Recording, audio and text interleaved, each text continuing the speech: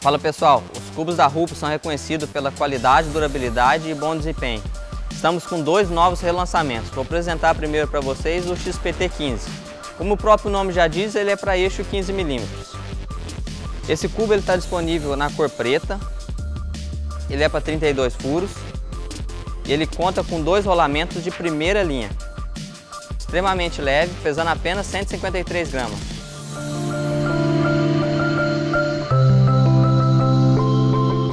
Vou apresentar agora para vocês o cubo traseiro RUP XPT 142. Como o próprio nome sugere, ele é para eixo 142 por 12 milímetros. Um dado interessante é que o eixo sempre acompanha o quadro, não o cubo. Ele está disponível na cor preta, 32 furos, e ele conta com quatro rolamentos de primeira linha. Esse cubo pesa 353 gramas. Para você que está procurando um cubo 142 milímetros com bom custo-benefício, o cubo RUP é uma ótima escolha.